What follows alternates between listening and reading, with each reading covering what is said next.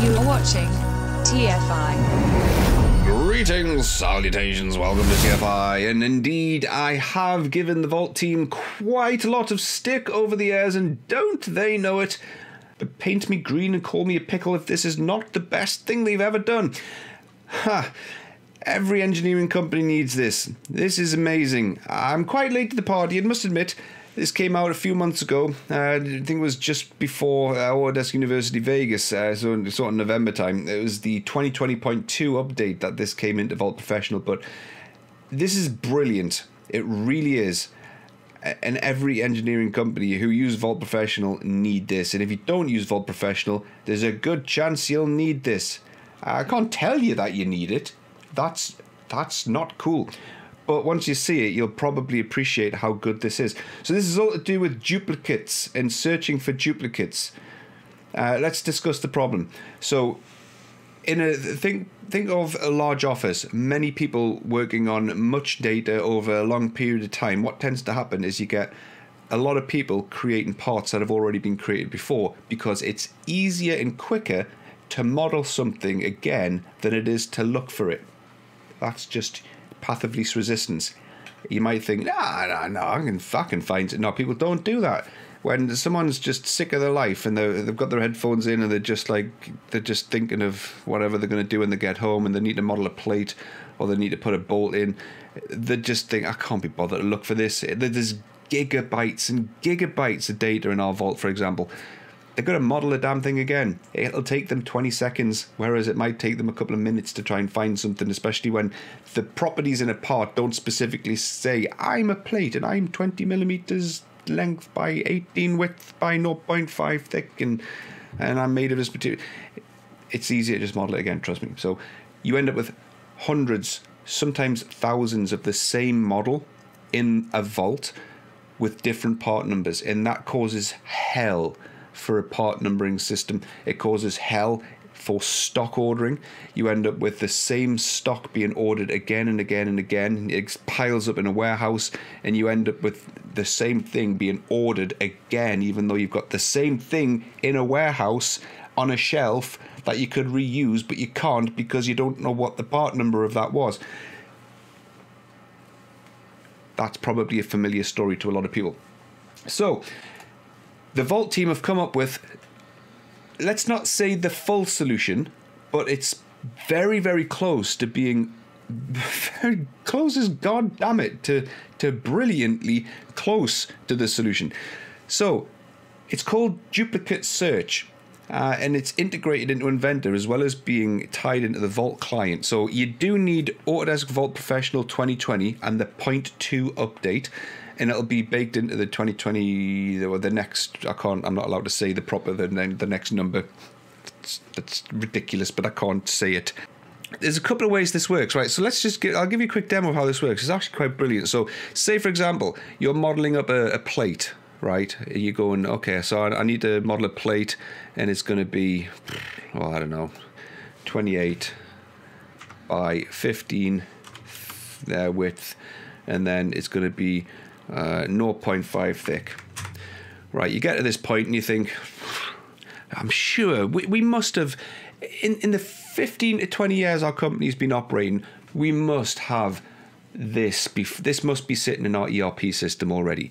So what you can do now is you just right click on the part node, you go to Vault, and then find duplicates. And you go search, and look at that. It scans your entire vault and it says this is already, this exists. It's been made before. All these times it exists. So, what we'll probably do, for example, in my company, is we'll go, right, look, clearly this is a common plate that gets made. We'll create a master, a kind of a, a master part number or a, a master model, and then we'll just replace anyone who creates this in the future, just replace it with the master part number, uh, and then that'll be that. But what you can do is you can go through all of these and go, okay, right, well, which one's been used the most times? Because that's the one that you'll want to use. And it, as it goes, these ones are all just simple plates, so it's a, probably a bad example. But you can just pick that one and just say, right, well, use that one. That, but that's brilliant. That, that alone is brilliant. It can scan your vault at any point. The idea, though, I mean, I think I can say this now. Uh, I'm sure they'll pipe up and tell me I wasn't allowed to. But I think early days, the idea was to use sort of artificial intelligence and sort of deep learning to like detect how things were progressing as you were modeling. Uh, like, oh, it looks like you're doing this as you're modeling. And then it would scan your vault as you're doing stuff and, and sort of pipe up as you. Uh, as your model was developing, but I think the, the logistics that were probably a bit too ambitious it would have been nice, but I think too many people would have been like, well, hang on a minute, what's actually going on in the background for you to be doing this? Deep learning, what? Artificial, what's that you say? Come on, we can't be having that. And I think then probably went, yeah, fair enough.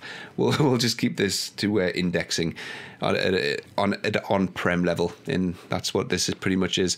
Uh, all of the indexing to, to, to, so basically, right, if you're thinking, how is this actually working? When you configure the duplicate search, so you this isn't a training course by the way, but you go into Tools Administration, Vault Settings, and then inside of the uh, you have to be an administrator to do this.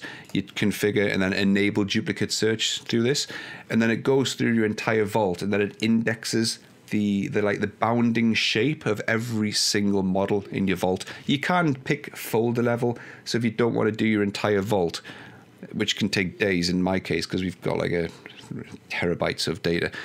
But you can say only index sort of certain parts of your vault, but it'll go through every model. And it's sort of like if you look at this part here, for example, it just caches. I don't know how it does it, but it'll just cache like the shape, the size, the, form factor of that model. And then when you ask it to scan for duplicates, it'll compare what you've got on screen in Inventor with what's cached in the background. It does it super quick, again, I don't know what sorcery is behind it, but it seems to do it. But that's how it works. It works really, really well. Uh, you've also got this duplicates dashboard inside a vault, which will say to you, look, at uh, right, 16% of what's in your vault is a duplicate of something else. You can create a report as well. You can go generate a report of everything that's in the vault. That's a duplicate, and it breaks it down into groups, which is really useful. Uh, I've inquired about thumbnails. I've been like, can, can you not show me a thumbnail of what I'm looking at here? Because like I can't visually. I, I've got no visual reference of what I'm looking at here. Like, is this a bolt? Is this a washer? Is it a hose? Is it a plate? I mean, what is it? Yeah, they reckon it would just be a massive performance hit if it was to pull thumbnails from the vault and put them into this report. Ah, mm, okay, I'll take your word for it. Can't really, I haven't really got the credentials to argue with you on that one. But so, for example, group one, it, it orders the groups based on how many duplicates there are. So, group one has the most duplicates. So, there's 48 duplicates in group one. So, all of these are, are the same model. They've just got different part numbers or different file names. And um, you can then go to that file name and then address it. That's a report that you've got to look through your vault and to, I guess, assess the damage that you've got, how much data is duplicated. Uh, that's a situation assessment, SITREP. With an inventor, though, so aside from going, oh, show me if this is a duplicate of something else that already exists, you can go over to a, a top level assembly, for example. So if you've got a, a, a, a I don't know, a top level model that you're working on, once you've finished it, or it could be something you've already done. You can go to your, your top level browser here and go, right, show me everything in here that's a duplicate. Find duplicates, search, and it'll go through your entire assembly and scan every model and reference it against everything that's in the vault. And it'll say, right, inside your assembly, all of these models are a duplicate of something that's in the vault. That, mate, seriously butter my backside, glaze me in honey, throw me in the oven, and call me a biscuit is absolutely genius. This is amazing. The fact you can do this is incredible, and the Vault team have to be applauded for this because this is this is amazing. It really is amazing work that they've done this. So we can scroll down and find something pretty typical, like a, a bolt. So this one here is a pretty typical example for us. Someone has taken a regular old screw and they've remodeled it and give it a regular part number whereas it should have been taken from our content center but instead they've just done a save as and give it a part number. So this bolt here exists numerous times in our vault. Uh, it should be this one here which is used somewhere else. And what you can do is you can say, right, this one here, the one that's used in my assembly, is nonsense. I can replace it in every instance of the one that shouldn't be used with the one that should be used. Just replace all. That's mint. That is absolutely mental. So it goes through my entire model and replaces the, the duff one, the duplicate one, with the master one. That, mate, is quality. That's quality. Save for this washer here. This is duplicated somewhere else. So there's a there's a master washer in the vault which is used twice. This one probably used once. And you can just say, right, replace this with that one. Goes through. It'll ask you to check anything out if it needs to. Great. Okay, so constraints may be broken. That's probably going to be nature of the beast. You're replacing models with something else. Might be flipped. You know, it's the same form, it's the same shape, but it might be flipped on axes, rotated in a different orientation. So constraints might not get respect. Try. I'm sure it tries to respect the constraints, but it, I'm sure it can't guarantee it. But look at that, mate. That's amazing. So all of these parts in my assembly are a duplicate. That's the extent of the problem I'm dealing with. Uh, so this plate here, there's 47 instances of that plate in my vault. And uh, it's not even my live vault. It's crackers, that man. That little electrical parts, terminal blocks, hoses, bits and pieces like that, little tubes, just reused parts that people have just done a save as on. The exact same model exists twice in the vault, but it's got two different file names.